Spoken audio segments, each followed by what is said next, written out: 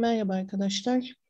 Bugünkü bölümümüzde daha önce birinci videosunu çektiğimiz başlangıç seviyesinde konuşma serisinin ikinci kısmındayız. Ee, daha önceki videoda olduğu gibi üç soru, üç cevap yapacağız.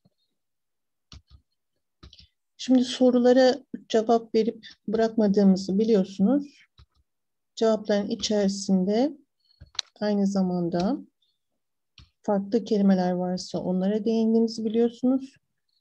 Ee, ve gramer konularını, dil bilgisi konularını hatırlatıyoruz. Çok zor olmayan bir seviye olduğunu biliyoruz elementary. E, fakat temel olduğu için bazı temel kelimeleri bilmiyorsak zorlanacağımız kesin. Ama yine temel zamanları, geçmiş, gelecek, şimdiki zaman gibi temel zamanları bilmemiz gereken bir seviye. Birinci sorumuzda What kind of food do you like? Ne çeşit yiyecek seversin, hoşlanırsın? Ya da ne tür yiyeceklerden hoşlanırsın? Cevaplarımızın bir tanesinde I really enjoy all kinds of food, but I prefer homemade foods because they have no chemicals. Şimdi burada gerçekten e, tüm yiyecek çeşitlerinden hoşlanırım fakat prefer tercih etmek demek. Ev yapımı yiyecekleri tercih ederim çünkü kimyasal içermezler. Burada BAT'a bakıyoruz.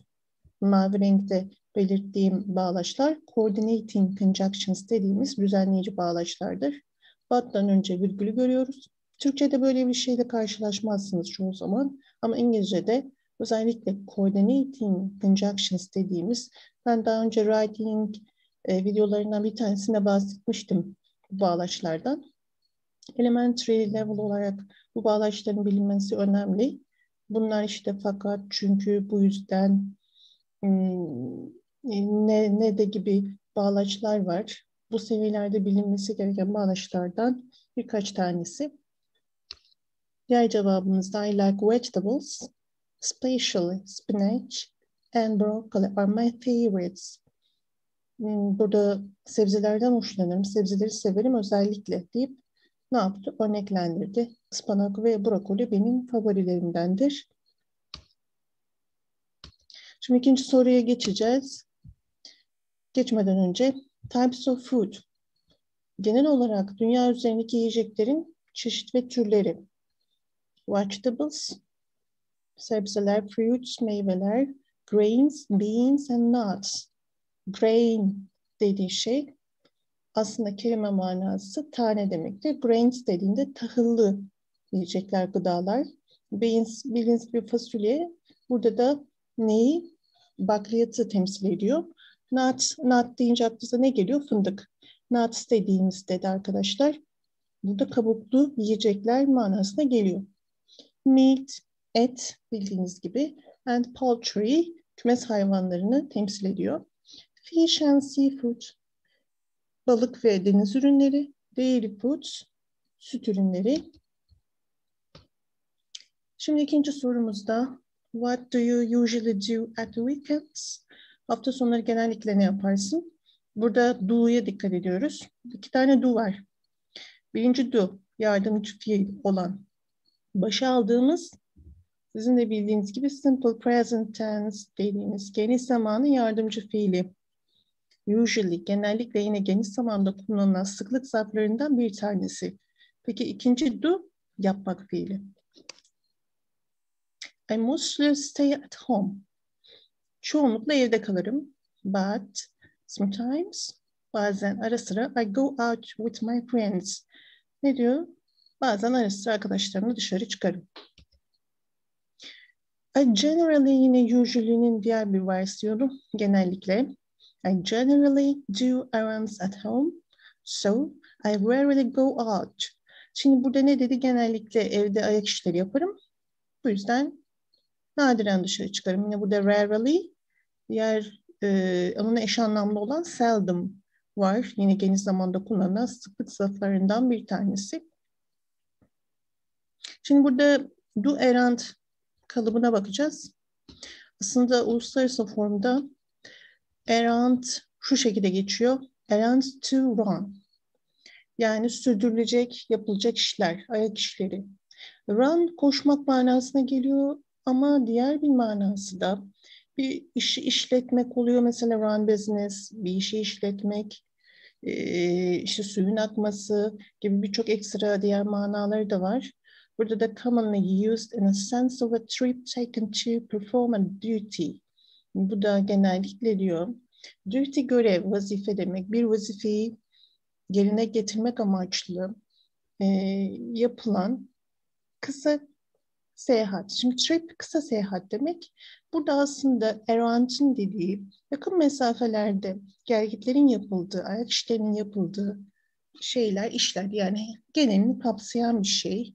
Bu ofis ortamı da olabilir. Dışarıda yapılan ayak işleri aynı zamanda evde yapılan ayak işleri de olabiliyor. Doings at home deyince bakalım neler var. Evde yapılan ev işlerini kapsayabilir. Sweeping, welcoming, washing dishes, feeding pets, doing laundry, preparing meals, cleaning bathrooms, dusting, mopping floors, watering plants, moving the lawn, taking out trash, wash the car. Şimdi burada baktığımızda, şimdi buna benzer devam eden birçok e, ev işi vardır. Evin dışında bahçede olanlar da bunu kapsıyordur. İşte dedik ki e, evi süpürmek, silmek, bulaşıkları yıkamak, evcil hayvanı beslemek falan diye devam ediyor. Yine bunlar baktığımızda başlangıç seviyesinin içerisinde giren neler? Basit kelimeler, basit kalıplar.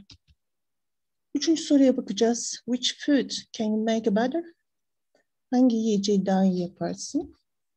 Oops. Şimdi burada farklı bir şekilde e, böyle heyecanlanmış, şaşırmış ifadesini verdik. O da nereden çıktı gibi. It's good question. Oh, iyi soru, güzel soru. I'm good at cooking spaghetti. Ee, diyor ki spagetti yapmada pişirmede iyiyimdir but fakat I cannot do any traditional food. Herhangi bir yöresel yiyecek pişiremem demiş oldu. Good at mavi renkte belirttik. Burada fiil geldi. Cook pişirme fiili e, ing aldı. Biliyoruz ki cook aynı zamanda noun isim olarak aşçı manasına gelmektedir. Şimdi spagetti diye yazdığımız spaghetti diye okunuyor genelde. Diğer cevap da I'm really bad at cooking. Pişirmede gerçekten de kötüyüm. Fakat I eat well, iyi yerim.